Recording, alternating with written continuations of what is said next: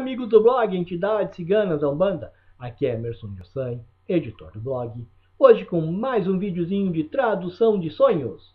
O sonho que iremos abordar hoje é um outro sonho corriqueiro, só que as pessoas confundem também. Que é o sonho do golfinho. É um sonho de um elemental ligado às águas, às águas salgadas então, é um sonho ligado a Orixá Iemanjá e suas variações. Caboclos ligado à praia, Pombagira Exu ligado à praia, entidades ligadas à praia.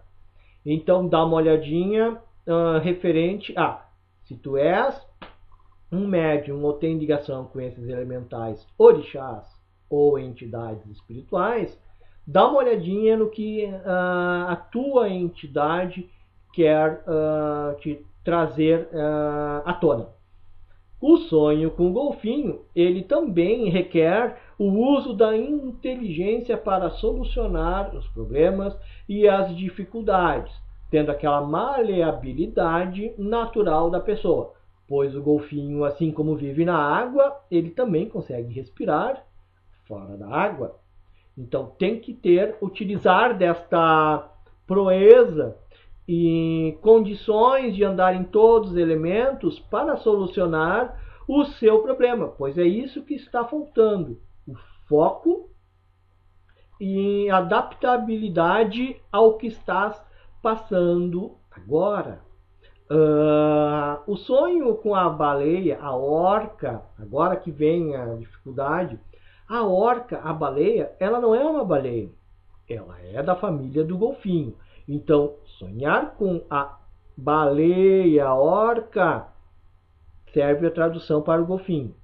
Só que o golfinho, ele é a mansidão, ele é o auxílio, ele é ajuda nos momentos de aflição. A pessoa está lá nadando, vem o, o golfinho, e são vários e vários casos que acontece que a pessoa está nadando, vai se afogar, e o golfinho vem e ajuda a pessoa, né?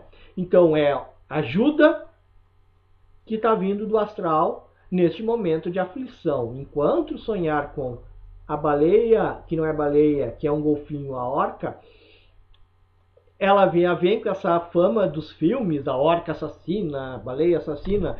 A orca não é assassina e não é uma baleia. Ela utiliza o seu instinto para se alimentar. Então ela acaba atacando. Só que tem uma coisa: uh, o golfinho também ataca o peixe para comer. É o seu instinto de sobrevivência. Então, para a família, se tu fosse um peixe, para ti um dos piores animais que teria na face da terra era um golfinho, né? Pois o golfinho come peixe. Então, dependendo do ponto de vista e do preconceito que estás tendo no momento, a orca serve de um freio para este preconceito, para esta intolerância, para esse não entendimento do ponto de vista da outra pessoa. Ok, meus amigos? Então, dá uma olhadinha no blog que tem mais tradução sobre golfinhos, em que complementarão este vídeo aqui. Não esquece de se inscrever, aperta no sininho de notificações para receber os novos vídeos e continua seguindo o teu blog aqui. Um abraço para todo mundo e até o próximo vídeo.